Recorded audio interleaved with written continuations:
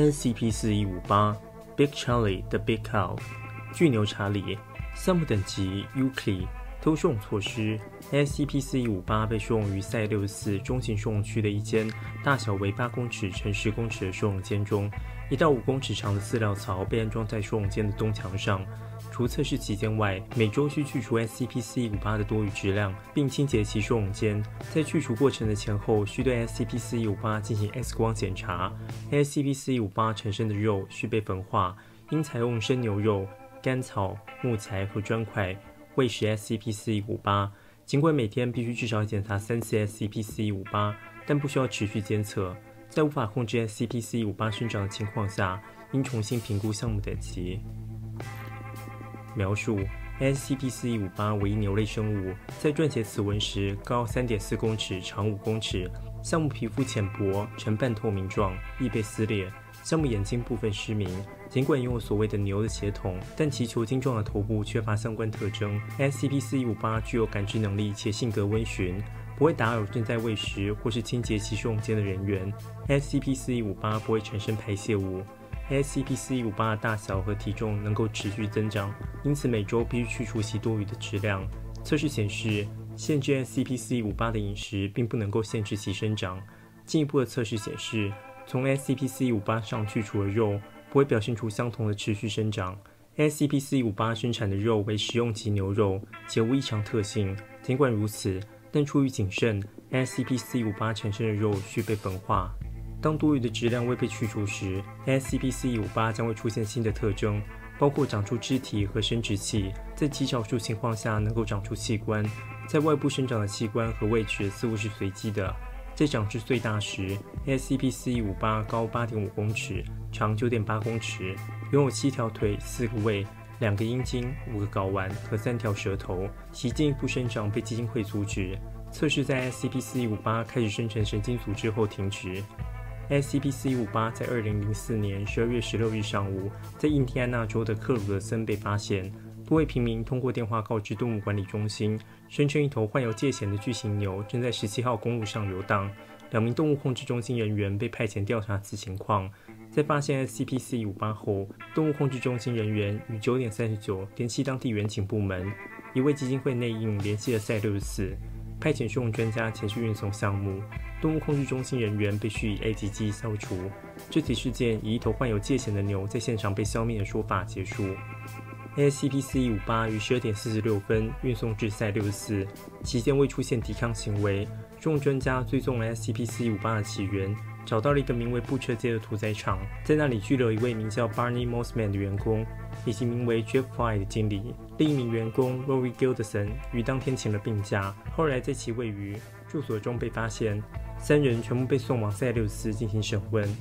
采访记录：Barney Mossman，二零零四年十二月十七日采访记录。受访者：Barney Mossman。采访者：Rebis 博士。记录开始：二零零四年十二月十七日十四点四十七分。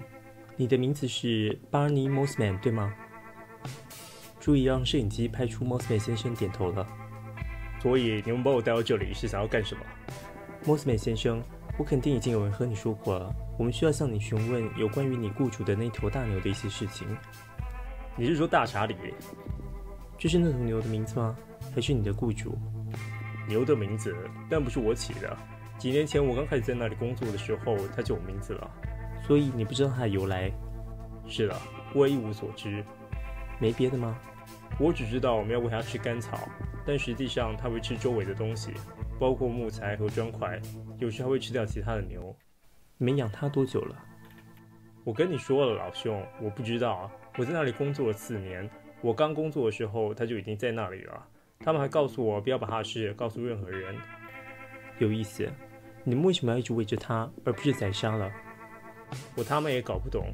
我只喂那个该死的东西，而他们从来没有告诉我过。好吧，那么你还有什么其他的能告诉我吗？没有了，我几乎没有见过他。我只是有时候把甘草塞进他的围栏里。他不是我要负责的，我是管理员。好的，那家伙从你雇主手中逃走的时候，你在哪里？在家，因为当时是晚上。你当时在做什么？呃，我在使用电脑。到大概十一点的时候，我就去睡觉了。就这样，我巴士当时就在电脑旁边。不信的话，你可以看我的上网记录。那第二天早上你去上班，发现他不见时，有什么情况吗？那天早上我迟到了，因为我前一天晚上睡得很晚。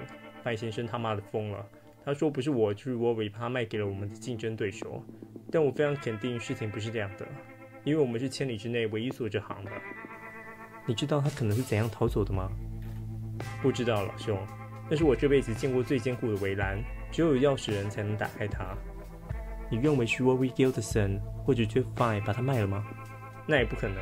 那两个人是最爱那家伙的。Rory 将他视如己出，而 Fine 先生也永远不会把它卖掉。详细说明一下，Fine 先生为什么不会这样做？我不知道。他把那东西当成神或者别的什么来祭拜。就像我说的，他们从来没有告诉我为什么要留下他，所以我真的不知道为什么。但我知道他永远不会。Rory Gilderson 会知道吗？可能吧。如果你想知道有关大查理的事情，就去问他。我只是喂他，但 Rory 会帮他清洁、做检查以及一些别的鸟事。好吧，那么 Mosman 先生，如果你能告诉我们的就是这些，那我想就到此为止吧。记录结束。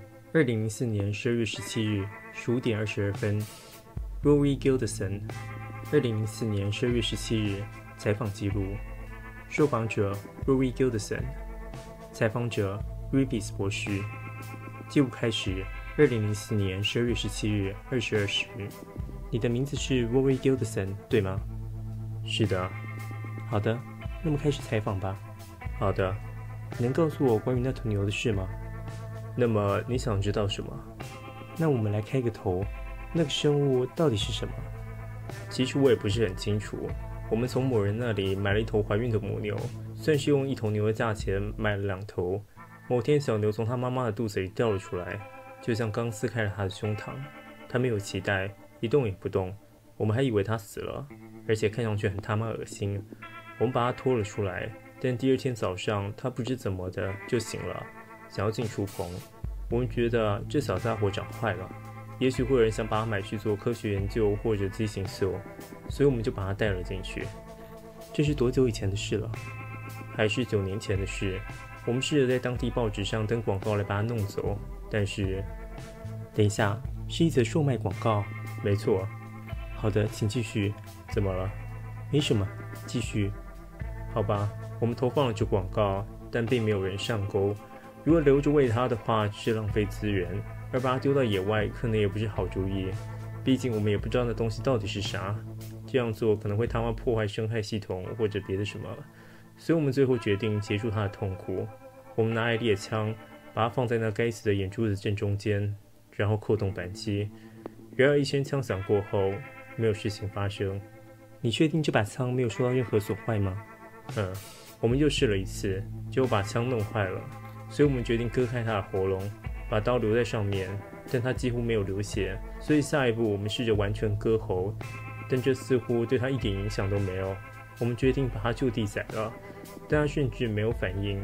当我们做完后，它几乎只剩下骨架。我们想从这次买卖中捞到一点好处，就把它的肉和其他的肉一并打包，希望没有人会注意到。你们怎么知道肉没有毒或者别的什么？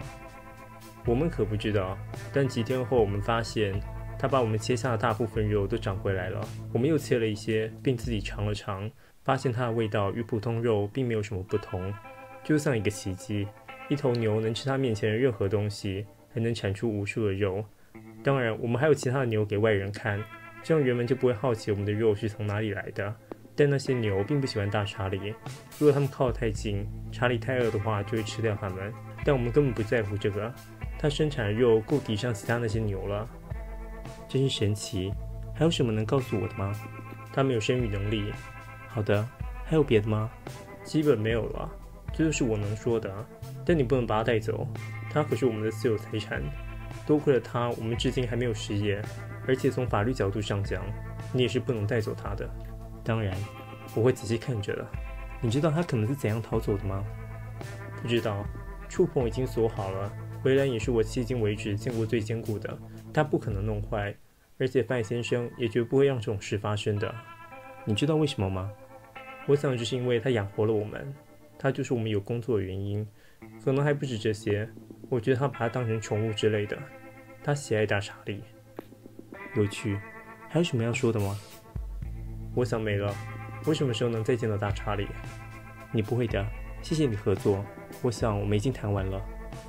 记录结束。二零零四年十二月十七日二十四时二十九分。GFI 二零零四年十二月十八日采访记录。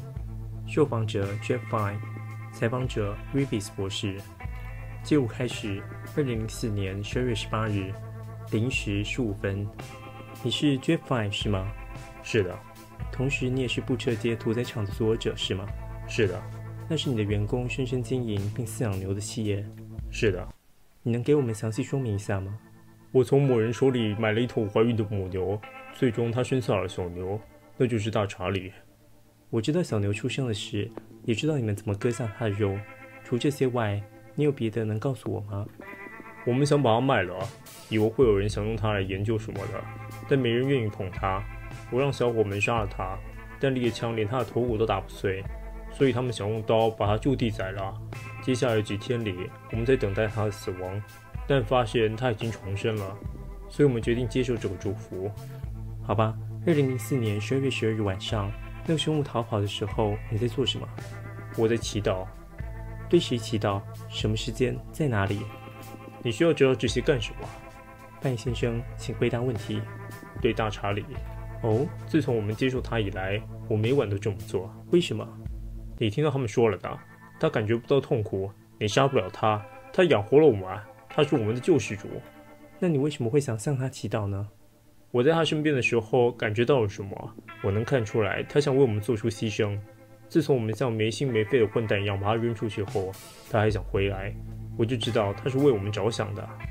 你是怎么向他祈祷的？我会打开他的围栏。然后脱下我的衣服，这样我就能毫无保留地躺在他面前，接受来自他的祝福。你是怎么做的？喝他的血，尽管他不需要，但他的心脏还是为我们打出血和生产血液。为什么你从来没告诉过你的朋友关于他的事？我知道查理不会喜欢他们的。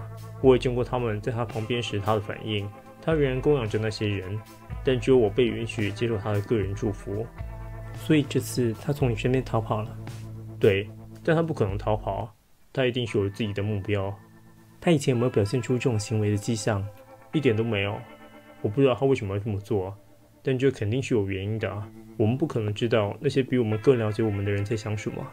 对他祈祷有作用吗？大查理并不会回应所有的祈祷。他知道什么对我们最好，所以就是没用。你怎么敢质疑大查理？他知道什么是对我们所有人最好的。我受够了，我不需要一直回答这样的问题。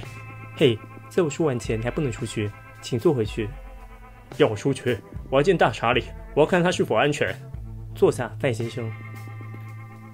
好，采访结束，记录结束。二零零四年十二月十八日一时三十四分。目前并不认为 Jeff 对 SCP-C 五八的崇拜是受到任何异常特性影响的结果。一项研究显示，工作于 SCP-C 五八的人员没有表现出任何异常的宗教或仪式行为。与此同时，也并无理由怀疑任何在采访期间的内容。布彻街屠宰场的员工和牛都被施以立即记忆消除。屠宰场以违反卫生法规的理由被关闭，员工因渎职而被捕。把生产出 SCP-458 的怀孕母牛卖给 Jeff Fine 的个人身份仍然未知。以上就是 SCP-458。简单说，SCP-458 是一只外形怪异、体型巨大的牛。他的身体能不断成长，并发展成新的肢体和器官。不管从他身上切下多少肉，他都不会死亡，并且会重新长出被切下的肉。他因此被作为一间屠宰场的牛肉来源，并且被屠宰场主人当神崇拜者。b c h a r l i 的图片是来自加拿大插画家 Trevor Henderson 的图片。Trevor Henderson 喜欢怪物、恐怖故事、伪纪录片形式的恐怖照片等等。他最有名的创作是 Siren Head。原版的设定中 b c h a r l i 基本上是无害的。会被人类囚禁作为肉类来源，在最初被发现时，也同样是从肉类加工厂逃出。与 SCP 文档不同的是，原本设定中，B Charlie 身上的肉块时常会掉落，落下的肉块会成长为被称为 Leo Nugget 的怪物。Leo Nugget 又可能在完全成长后成为 The Lamb，或是受到未知力量影响成为 Void Nugget。这在之前 Trevor Henderson 的影片有讲过，有兴趣的人可以去看看。这支影片就到这边，录成这支影片，记得帮个喜欢，不喜欢的话就不喜欢吧。希望我做什么 SCP 主题可以留言告诉我，就这样，拜拜。